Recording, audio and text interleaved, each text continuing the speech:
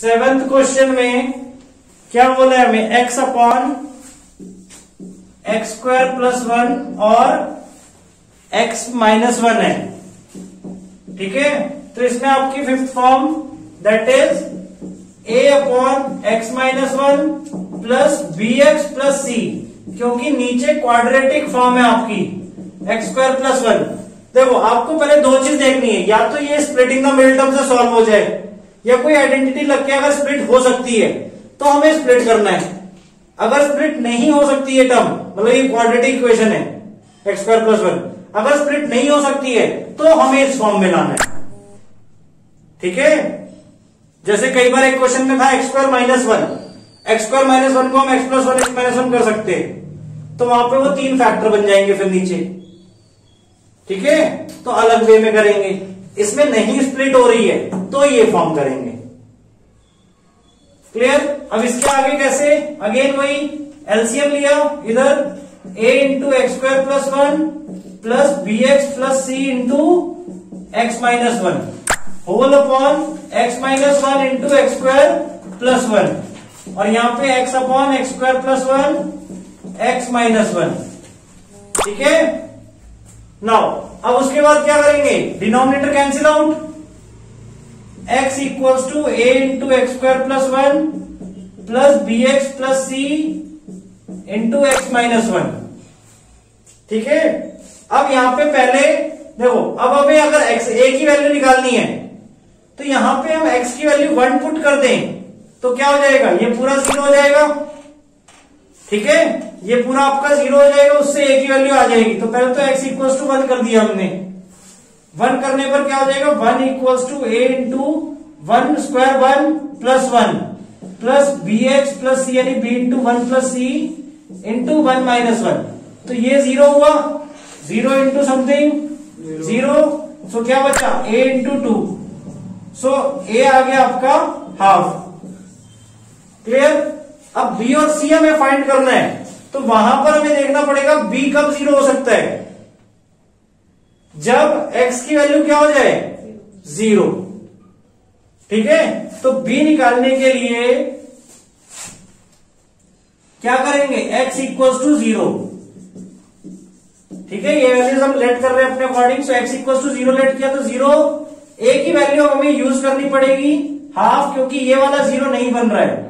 Zero plus one plus B into zero plus C into zero minus one. So यहाँ पे क्या हो जाएगा? Zero equals to half into one हो गया plus B into zero zero बन गया सी और यहाँ पे माइनस वन यानी माइनस सी बन जाएगा ये। So minus half equals to minus C so therefore C equals to half यहाँ तक क्लियर हो गया? ए और बी आ गए आपके। अब सी निकालने के लिए क्या करेंगे? फॉर सी के लिए अब हमें क्या करना है? या तो ए और बी को ज़ीरो करें बट अब ज़ीरो किसी भी वे में नहीं होगा। ए वाला तो ज़ीरो हो ही नहीं सकता। ठीक है? सॉरी सी निकल गया ना बी के लिए। बी के लिए क्या करेंगे? अब सी तो हमारा ज़ीरो होगा ही नहीं। ठीक है? तो सी की वैल्यू हमारे पास आ चुकी है, वो पुट कर देंगे और ए की वैल्यू जो आई है, वो भी पुट कर देंगे। सो अब एक्स कोई भी वैल्यू डाल दो सपोज़ हम एक्स की वैल्यू टू डाल रहे हैं, ठीक है? ये ध्यान रखना है कि बी ज़ीरो नहीं होना चाहिए, ना इसके साथ, ना इसमें। तो ज़ीरो नहीं डाल सकते अदरवाइज़ बी ज़ीरो हो जाएगा। वन नहीं डाल सकते, तब भी बी ज़ीरो हो रहा था आपका। क्लियर तो इसलिए हमने टू डाली एक्स की value so two equals to a की वैल्यू क्या हो गई? Half bracket two square plus one plus b into x x हमारा टू प्लस सी सी की वैल्यू हमारी क्या निकली थी? हाफ़ और ब्रैकेट के बाहर टू माइनस वन दूसरे ब्रैकेट में. So two equals to half two का square plus one five plus two b plus half into one clear so two equals to five by two plus two b plus half अब five by two plus half कितना हो जाएगा? Six by two six by two कितना हो गया? Three so two equals to three plus two b three इधर shift किया equals to two b one equals to two b minus one sorry so b equals to minus half तो ABC आ गए आपके। क्या क्या हम्म अब इसमें हमें एबीसी की वैल्यू मिल गई है, अब इंटीग्रेट करना है। तो हाफ़ हाफ़ को हमने बाहर लिख लिया ए को। ठीक है one upon x minus one plus b x plus c तो बी एक्स प्लस सी में दोनों में हाफ़ थी वैल्यू एक्स और बी की माइनस हाफ़ थी तो हाफ़ हमने बाहर ले लिया, यहाँ पे भी minus x plus one upon x square plus one यहाँ तक क्लियर अब इसका इंटीग्रेशन क्या हो जाएगा? हाफ़ बाहर है one upon x minus one का log log x minus one और एक्स माइनस वन का भी डिफ्रेंशिएशन करना है। वो डिवाइड करना है। तो एक्स माइनस वन का डिफ्रेंशिएशन वन सो अपॉन में वन आ गया। क्लियर यहाँ पे प्लस हाफ़ इसको हमने अलग अलग तोड़ा बेटा। कैसे? Minus x upon x square plus one ठीक है? Dx plus one upon x square plus one dx अब इसको हमें अलग अलग सॉल्व करना है। अब इसमें हम क्या करेंगे? इसको हमने टी लेट किया। Let x square plus one equal to t तो इसका डिफ्रेंशिएशन क्या हो जाएगा?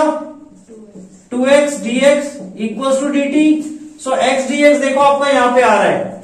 तो एक्स डी एक्स क्या हो जाएगा? डी टी बाय टू ठीक है?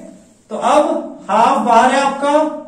इसका integration minus d t by two ठीक है टू हमारा वो बाहर ही आ गया। यहाँ पे half again x square plus one हमारा क्या हो गया? टी ठीक है plus one by x square plus one में हमें क्या करना है? डायरेक्ट आइडेंटिटी कौन सी identity tan inverse x one upon x square plus one किसका होता है? यानी one plus x square tan inverse x का तो टेन इनवर्स एक्स हो गया आपका यहाँ पे। ठीक है? इसका इंटीग्रेशन हो गया। यहाँ पे आपका half log x minus one चल रहा है प्लस ना उसके बाद ये हमने ब्रैकेट ओपन किया और इसका वन बाय टी का इंटीग्रेशन क्या हो जाएगा? लॉग टी ठीक है? और ये ब्रैकेट ओपन किया तो minus one by four log t आ गया। और टी में हम नेक्स्ट स्टेप में वैल्यू भी पुट कर देंगे। Plus half tan inverse x so इसका फाइनल आंसर आपका क्या होने वाला है? Half log x minus one minus one by four log t की जगह क्या था हमारा? X square plus one plus half tan inverse x चाहे तो आप सब में से हाफ़ कॉमन लेके भी शो कर सकते हो। ठीक है?